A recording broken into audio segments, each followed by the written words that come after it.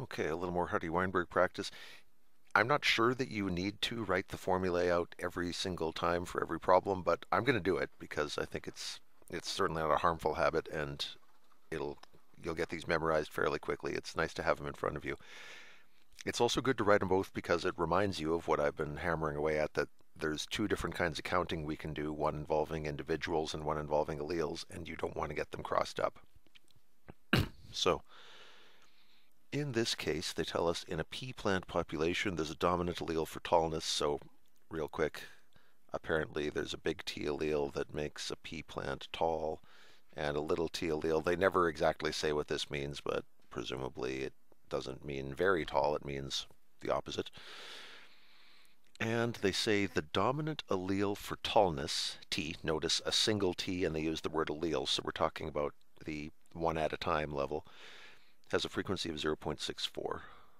P is 0.64.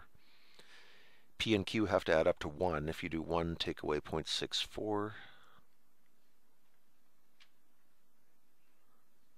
you'll find that that's your Q. I'll, I'll just put underneath 1 minus 0.64 is how we found that.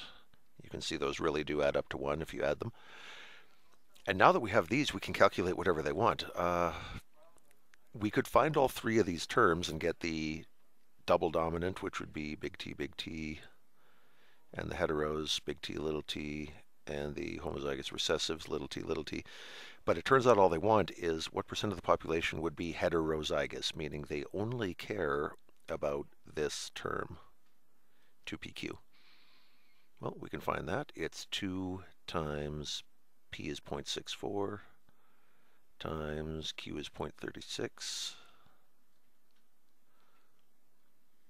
That's going to be just a smidge over 0.48, I think. 2 times 0.64 times 0.36. Oh, okay, 0.4608. I'm just running that again to make sure I didn't key something wrong. Yep, 0.4608. That's our decimal frequency so you can say 0.4608 of the population, or if you multiply that by 100, you'll get a percentage, and it will be 46.08%.